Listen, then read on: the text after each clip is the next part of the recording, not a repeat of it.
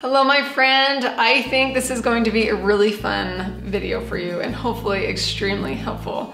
So what I've done is I've just taken some footage of the meals that we have eaten throughout this last month and I want to share with you these meal ideas in a way that just gives you an idea of what it looks like to make meals consistently for your family that are from scratch, real ingredients, and really nutritious dinner ideas. I know that when we started on our health journey about four to five years ago, trying to figure out how I was going to change our meals to consist only of like real food, real ingredients was really overwhelming for me.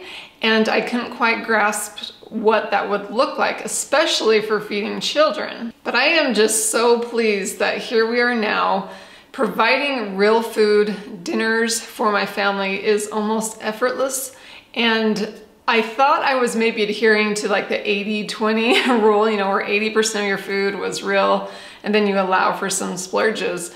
But when I was putting together this video, I realized that I would say we are more like 90-10 or 95 and 5% of real food. We have the occasional times where we eat out or there's family gatherings and celebrations. Of course, we allow for the, that leeway. But I am just really pleased with how I've transitioned into a lifestyle where our meals are virtually 100% real food and very nutritious. And I have to tell you, even though it was hard work to get here and many, many years of practice and work in the kitchen, figuring out what works for our family, it has been 100% worth it because of how good we feel and how delicious our food tastes and the diversity of taste buds that my kids have. Now, of course, there are foods that they won't eat. There are things that I put on the table that they don't touch. But if I just always make sure that there are things that I know they will eat, we all get fed and I get to expose them to other ingredients and hopefully raise them up in a lifestyle where um, cooking from real food is not a huge deal for them to learn once they're on their own. I know many of you have left me comments and you're in this same kind of journey of making sure your meals and the food you feed your family is as nutritious as possible. So I really hope this video is extremely helpful for you to just look at. Now I didn't actually film me cooking and assembling the meals that I couldn't have fit, you know, a month's worth of meals into a short little video if I was showing the process. So mostly what you're going to see is just the finished plated up meals that we ate for that evening. And I think you'll notice that a lot of the foods we eat aren't actually like recipe type meals. There is definitely some of those. And when there is that meal, I will leave the recipes linked in the description for you to check out. But so much of we eat and make is just ingredients. And this particular time where I filmed all these meals was at the height of summer. We had zucchini and lettuce and all sorts of in-season garden delicious pleasures for us to eat from. So that is mostly what you're going to see as we try to eat from our garden as much as possible or from foods that were in season. And I have to say, while I love a good recipe, I actually have a lot more fun in the kitchen when I just gather ingredients, whether it's a meat, um, the veggies or anything else that we have sitting around, I gather those ingredients and come up with something for them. It's really a lot of fun for me and kind of a creative endeavor. Anyway, let's take a look at this about a month's worth of meals. I will explain to you what it is and then definitely check the description below if you want to check out any recipes. We love grilling burgers in the warmer months and I love to wrap it in lettuce sometimes instead of a bun. So here's a burger with guac and some tomatoes, a side salad, roasted veggies, and grapes. Now we have a ton of lettuce growing in the garden, so this month was full of salads. Here's the first one with just a simple grilled chicken salad, some peppers, mandarin oranges, carrots, whatever else we could find to top it with a yummy citrus dressing that I made. And we love sourdough pizza around here and we have lots of green beans, so that's a frequent side. I love to cut up some fruit and the hubs and I get a little more fancy with our pizza. This is a plate just chock full of veggies with some zucchini squash that is in abundance, more green beans, a salad, roasted potatoes, and I made some sourdough rolls. And I have to tell you, fresh green beans from the garden, sauteed zucchini. There's just nothing better. We also eat baked potatoes a lot, and of course more zucchini showed up. Watermelon is in season, and I love to grab mint from the garden and some cucumbers and mix it together for a quick little salad. We throw sauerkraut on top. I'd put chive blossoms on my baked potato. It was delicious. This dinner was kind of random. I had some purple cabbage, so I made some purple cabbage salsa. It was delicious. And then we just had a salad. I like to put tofu in the air fryer, quite delicious. And then pull out whatever veggies we have to top the salad with. Another way to use up all this lettuce we have in the garden is with just some yummy lettuce wraps. So it's kind of like taco toppings or whatever you can find and um, fry up some burger and then you just wrap it into the lettuce. My kids actually love these and I think they are so delicious. We had some sourdough bread on the side and it was so yummy.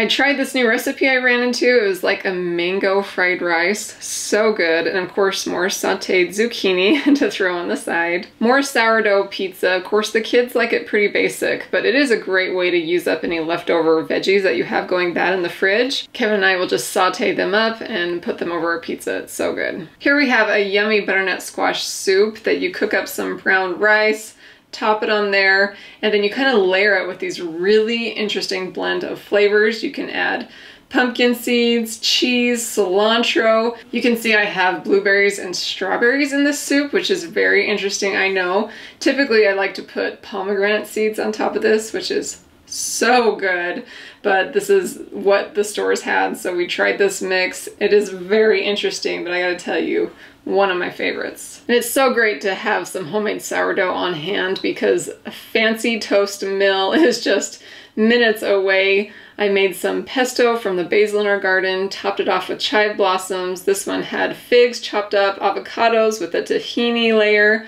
um, cream cheese, tomatoes, beets. The kids usually keep it pretty simple, but I love to just throw stuff out on the table and then see what everyone creates. Here's another salad idea where I just grilled up some chicken and did a cilantro lime dressing. More zucchini. We had some leftover rice, so we threw that on the side. So yummy. Another salad idea was I found some frozen falafels at Natural Grocers, and so I, we used up the same cilantro dressing, and I just put the falafels in the air fryer and then crumbled them up on the salad. It was so good with a sourdough biscuit and some fruit on the side. We really love this meal.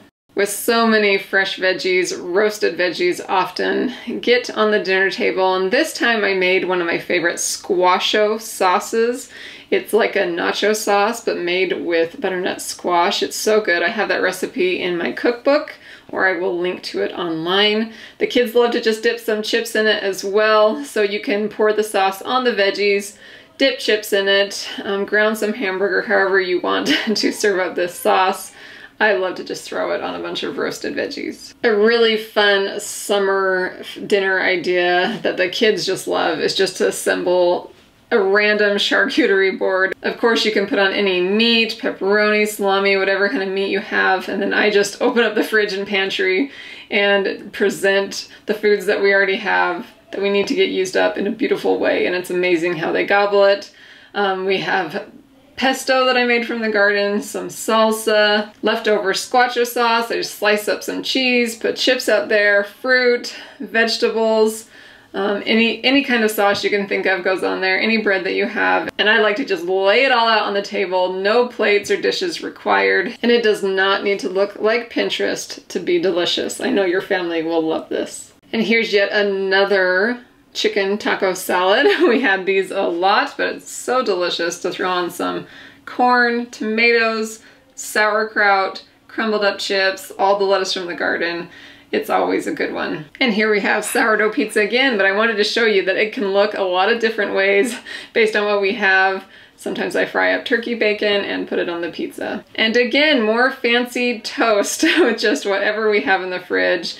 Here you can see the sauces I have, tahini, peanut butter, guac, some pesto, any kind of fruit that's in the fridge. And then I like to put out like cinnamon or cocoa nibs or coconut, date nectar sauce, balsamic glaze. You really can get so creative with fancy toast. For this one, I'm going to have to look back and see where I got the recipe, but it was basically rice noodles with a whole bunch of yummy stuff on it. I believe an Alfredo sauce, but basically veggies and rice noodles and a sauce and whatever I could find to top it off. So good. And with so much zucchini growing in the garden, I try to present it several different ways. Zoodles is definitely one of our favorites. I pull some of our canned spaghetti sauce, fry up some sausage. We, my sister gave me some veggie burgers. We tried that on top. and It was, I thought it was good. The kids did not like it, however. This was another way to use up the zucchini. I made zucchini ribbons and tied it in with spaghetti noodles. These are whole wheat einkorn noodles. I love them.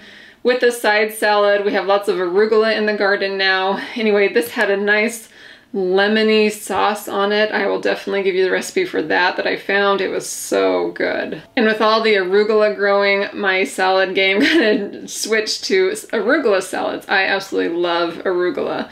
And we also made turkey burgers this night with some sweet potato fries.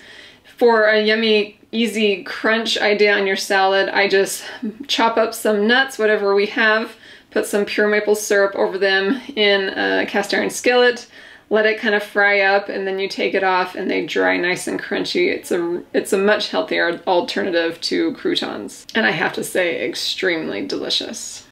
Well, I hope you have really enjoyed seeing these meals that I've made for my family and I hope it's been encouraging. If you happen to feel a little discouragement, please know that it has taken me years and years and years to get to be the kind of cook that I am today and to really enjoy bringing real food meals to my family. Thank you so much for watching today and please definitely check out my blog for more recipes and ideas for your home and family and kitchen and I will be back very soon to share more inspiration for the keeper of the home.